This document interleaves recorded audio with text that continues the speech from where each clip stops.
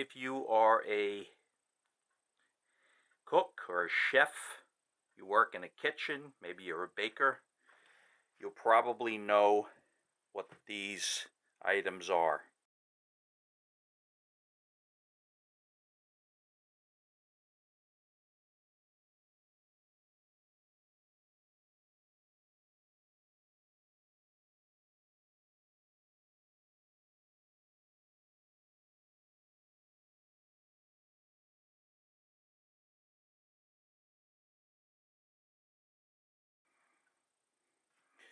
So we've got five variations here of what's called mezzalunas, okay, which stands for half moons. Actually, if you were watching carefully, you probably say, wait a second here. There's one there that is not a traditional mezzaluna, or it's maybe not a mezzaluna at all. Which one is it? Well, this one is definitely a Mezzaluna, but it's a double blade. This one is also a Mezzaluna. Kind of a small one. Maybe these you're going to cut some dough, possibly, or maybe chop a salad. I don't know. Uh, what's this? What kind of Mezzaluna is this? Well, it looks like a Mezzaluna. I'm sure it could work like one as well, right? But it is not a Mezzaluna. The handle itself is not wood, it's like a solid piece of metal. All the other Mezzalunas have wood handles. Okay, this one is much heavier. This is made for skinning maybe a walrus or something like that up in uh, maybe up in Alaska. Okay, you can hang onto the hide and pull it away. Pull it away, scrape. All right, so very interesting. So we're going to select one of these to uh, uh, to completely restore, refurbish, put back into service. All right. So we're not going to be doing much skinning in the near future. So we're going to set this one aside. Uh, herbs, this is winter, so we're pretty much buying this stuff in the supermarket still. Uh, this is a beautiful, beautiful double handle or double bladed Mezzaluna.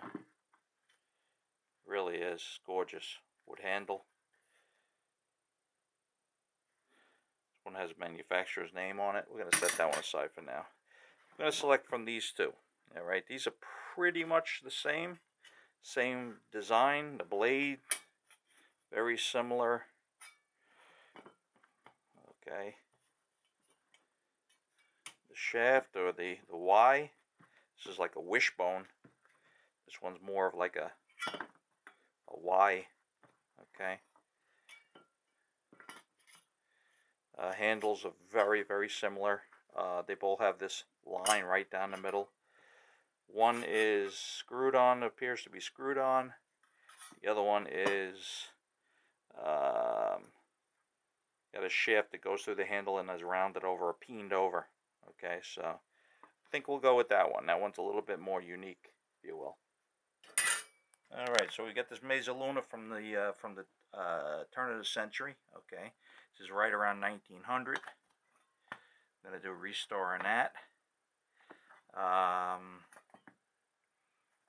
this one is is a little bit more unique because it has a handle.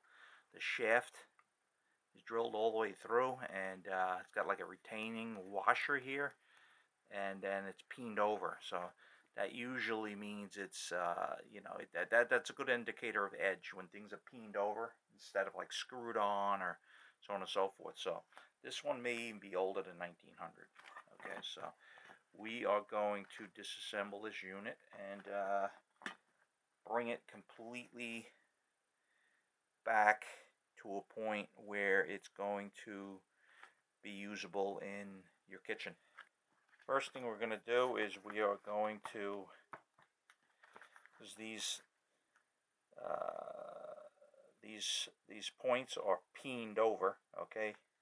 Uh, so the way I uh, remove the peening or pull back the peening is just to get a vice grip and just squeeze on the shaft.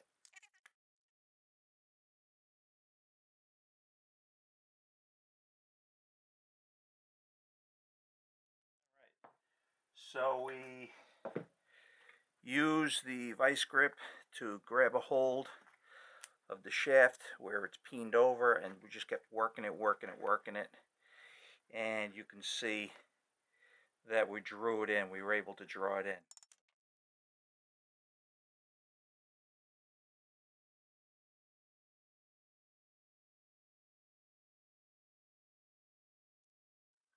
Okay, so we've got the same situation on the top here on the handle and the shaft. Okay, so you can see this, the shaft is peened over. It's got this washer. Okay, what we want to do is just use a vice grip and just little by little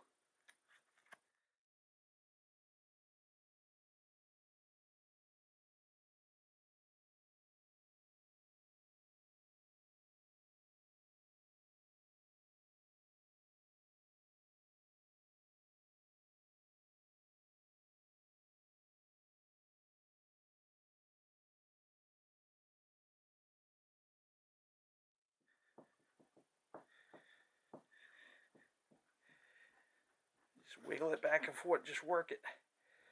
Don't spin it. There you go. Okay, there was a square shaft. Look at that. So I'm glad I didn't spin it now because or else I would have rounded that off. Okay, so our plan for this, okay, to make it usable, last long, um, you know, in our own kitchen, is to, and make it corrosion resistant, is to nickel plate Okay, all the hardware. Okay. Oop. We're going to nickel plate all the hardware here. Okay, there isn't much of it. Uh, that way it's corrosion resistant. Okay, so we're over here at the brass wire wheel. We're just going to clean up the wishbone.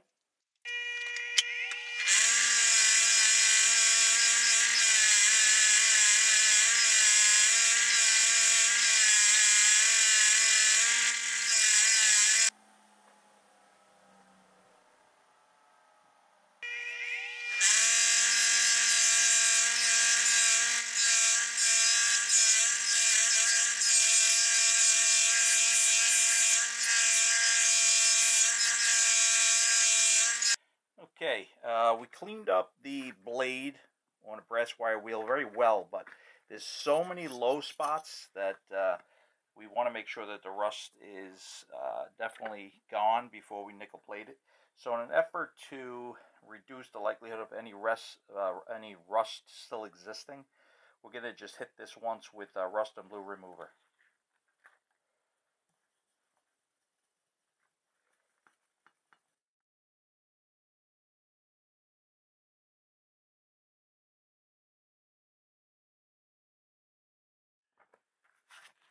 Going to rinse them off in cold tap water.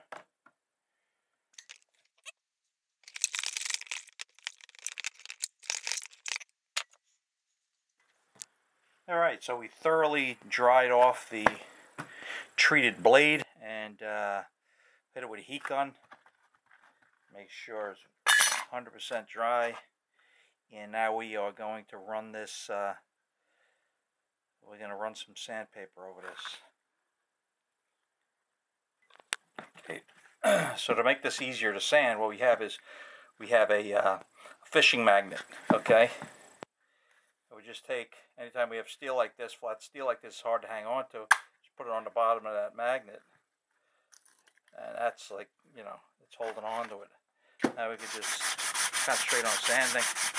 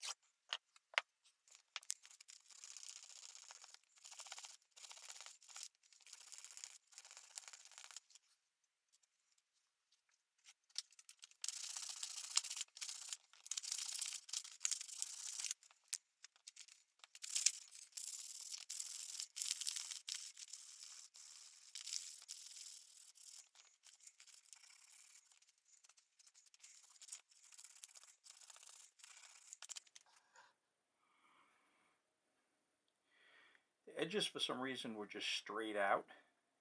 Uh, so I just beveled the edges, just rounded over the edges. Okay.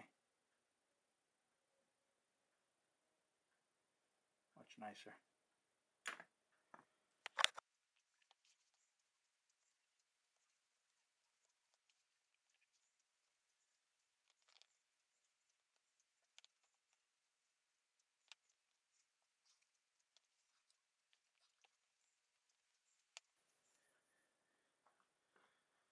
Alright, we'll let that sit a couple hours.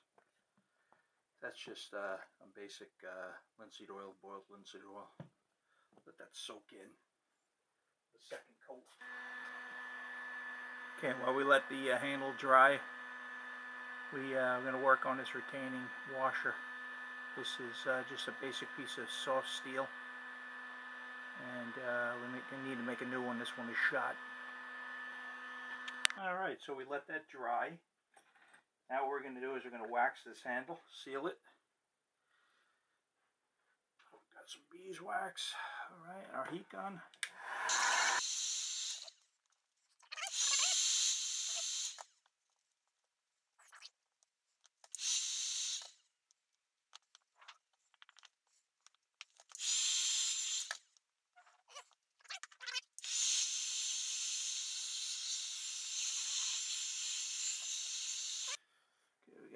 Nice uh, microfiber towel here, cloth, rub that out. There you